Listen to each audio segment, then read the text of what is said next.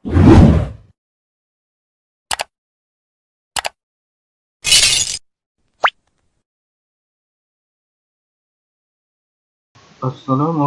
warahmatullahi wabarakatuh. Kembali lagi bersama saya di channel Muhammad Afghani Channel yang membahas seputar lowongan kerja untuk teman-teman semua.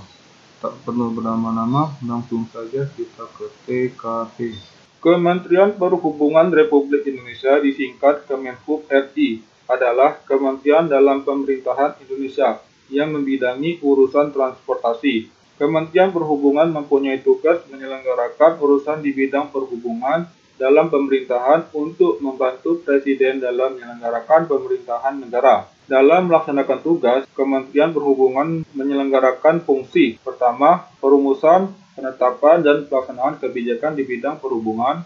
Kedua, mengelola barang milik atau kekayaan negara yang menjadi tanggung jawab Kementerian Perhubungan. Ketiga, mengawas dan melaksanakan tugas di lingkungan Kementerian Perhubungan. Keempat, melaksanakan bimbingan teknis dan supervisi atas pelaksanaan urusan Kementerian Perhubungan di daerah. Dan kelima, melaksanakan kegiatan teknis yang berskala nasional. Dikutip dari akun media sosial resmi di Instagram yaitu Kemenhub 151 diinformasikan tentang pengumuman pengadaan pegawai pemerintahan dengan perjanjian kerja atau P3K untuk jabatan fungsional tenaga kesehatan di lingkungan Kementerian Perhubungan. Formasi tahun anggaran 2022 di mana teman-teman bisa kunjungi media sosialnya yaitu Kemenhub 151. Lalu teman-teman bisa scroll ke bawah. Nah, teman-teman bisa klik postingan yang ini. Di sini teman-teman bisa salin link yang ada di sini untuk informasi mengenai P3K di Kementerian Perhubungan. Nah, di sini teman-teman bisa ke halaman pengumuman. Nah, di sini teman-teman bisa download file pengadaan P3K di Kementerian Perhubungan untuk jabatan fungsional. Di sini teman-teman bisa klik, lalu teman-teman bisa klik download. Kemudian untuk formasinya teman-teman bisa klik formasi. Nah, di sini teman-teman bisa lihat sendiri formasi yang ada di Kementerian Perhubungan untuk P3K di tahun 2022 ini. Lalu teman-teman bisa scroll ke bawah. Nah, ini adalah alokasi formasi di Kementerian Perhubungan untuk P3K dengan jabatan fungsional. Kemudian untuk persyaratan pelamar, usia serendah-rendahnya 20 tahun dan paling tinggi satu tahun sebelum batas usia tertentu pada jabatan yang akan dilamar sesuai dengan ketentuan perundang-undangan. Kemudian tidak pernah dipidana dengan putusan pengadilan yang sudah mempunyai kekuatan hukum tetap dan lebih dari dua tahun. Kemudian tidak pernah diberhentikan dengan tidak hormat atas permintaan sendiri atau tidak dengan hormat sebagai pegawai negeri sipil P3K, prajurit TNI, anggota kepolisian, atau diberhentikan dengan tidak hormat sebagai pegawai swasta. Kemudian tidak menjadi anggota atau pengurus partai politik atau terlibat politik praktis. Memiliki kualifikasi pendidikan sesuai dengan persyaratan jabatan, memiliki kompetensi yang dibuktikan dengan sertifikat keahlian tertentu yang masih berlaku di lembaga profesi yang berwenang untuk menjabat yang dipersyaratkan pihak jasmani dan rohani tidak memiliki ketergantungan dengan obat yang terlarang seperti narkoba atau zat adiktif lainnya. Kemudian untuk bagi wanita tidak bertato atau bekas tato dan tidak bertindik atau bekas tindik pada anggota badan selain di telinga kecuali yang disebabkan oleh ketentuan adat atau agama. Kemudian untuk bagi pria tidak bertato dan tidak bertindik pada anggota badan kecuali yang disebabkan oleh ketentuan agama juga atau adat istiadat. Kemudian bagi pelamar yang melamar sebagai kebutuhan jabatan tenaga kesehatan yang mensyaratkan surat STR wajib melampirkan surat STR dan bukan internship sesuai jabatan yang dilamar serta masih berlaku pada saat pelamaran dibuktikan dengan tanggal masa berlaku yang tertulis pada surat STR dan diupload pada SSCN ASN. Nah, untuk bagi pelamar disabilitas, pelamar dapat melamar dengan jabatan yang diinginkan jika memiliki ijazah yang kualifikasi pendidikannya sesuai dengan persyaratan. Pada saat melamar di SSCASN, pelamar menyandang disabilitas wajib menyertakan bahwa yang bersangkutan merupakan penyandang disabilitas yang dibuktikan dengan surat keterangan resmi dari rumah sakit atau puskesmas. Kemudian tautkan atau link video singkat yang menunjukkan kegiatan sehari-hari dalam menjalankan aktivitas sesuai dengan jabatan yang dilamar.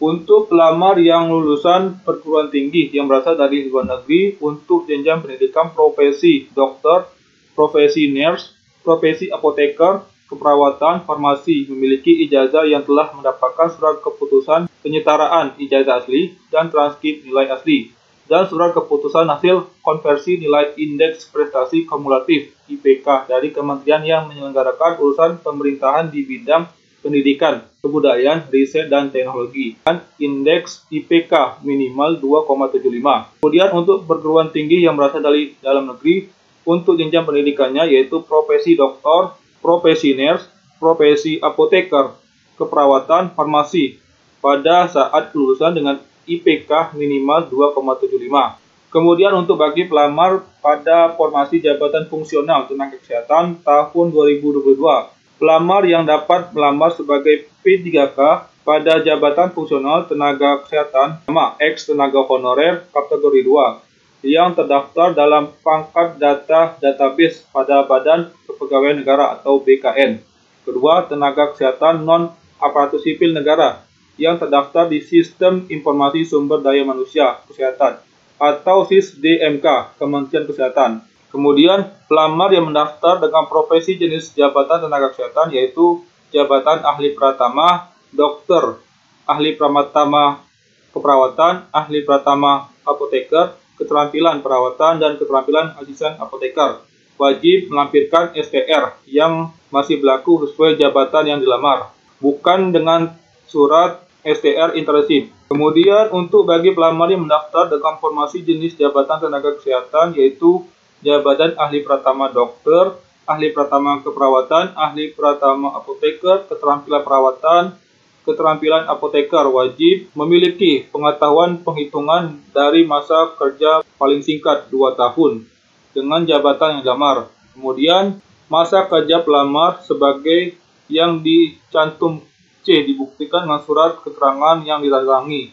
Pertama, kepala Pukesmas bagi pelamar yang memiliki pengalaman kerja di Pukesmas. Kepala Rumah Sakit bagi pelamar yang memiliki pengalaman kerja di rumah sakit. Pejabat pimpinan tinggi Pranata bagi pelamar yang memiliki pengalaman kerja di unit kerja pejabat di Kementerian Tinggi Pratama pejabat administrator bagi pelamar yang memiliki pengalaman kerja di unit kerja pejabat administrator dan kepala divisi yang membidangi SDM bagi pelamar yang memiliki pengalaman kerja pada perusahaan swasta atau lembaga swadaya non pemerintahan atau yayasan. Kemudian setiap bagi pelamar memenuhi dan menyampaikan melengkapi semua persyaratan pelamar yang tercantum dalam pengumuman.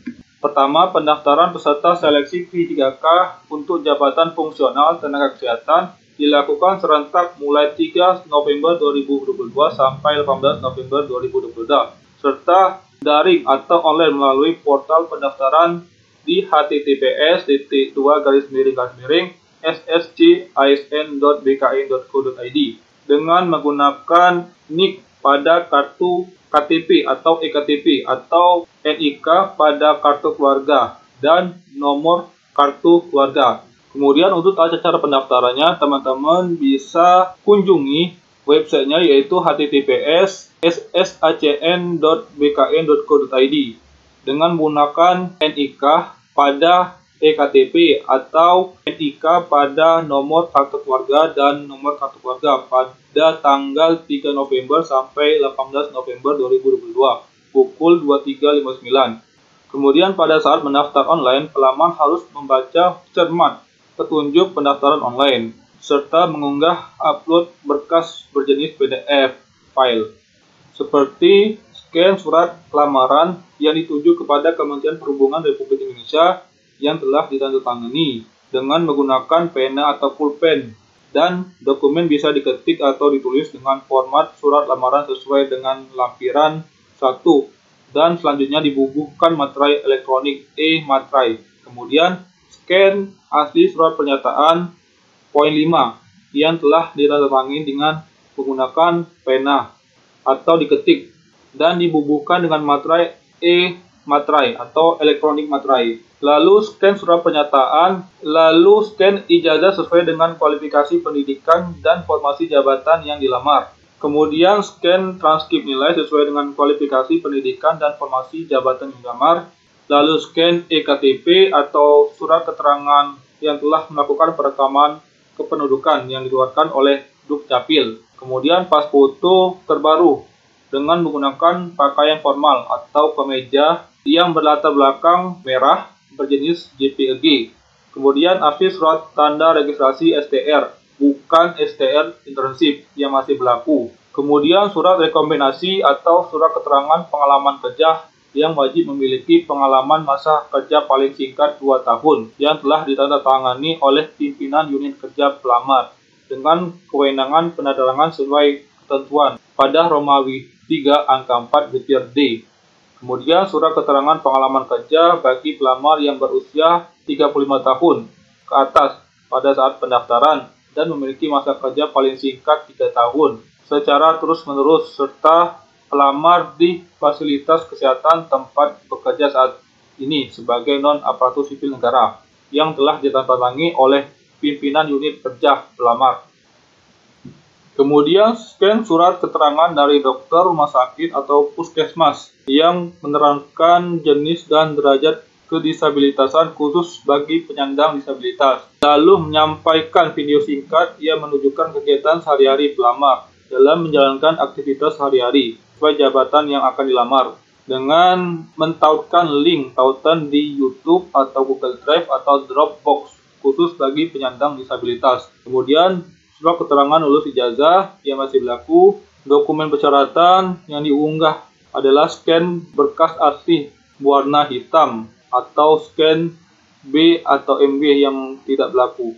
Kemudian surat pernyataan yang diunggah adalah scan berkas asli warna. Kemudian penggunaan materai elektronik pada lamaran dan penyataan menggunakan yang terintegritas SSACN dengan Perum Peruri. Pembubuhan materai elektronik dilakukan pada SSCASN ataupun di website distributor atau website mitra distributor setelah dilakukan pembelian. Kemudian pelamar yang telah melakukan pendaftaran secara online agar mengunduh atau mendownload mencetak tanda bukti pendaftaran.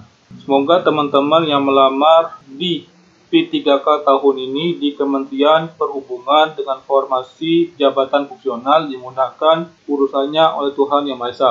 Demikianlah pemberitahuan dari saya. Wassalamualaikum warahmatullahi wabarakatuh.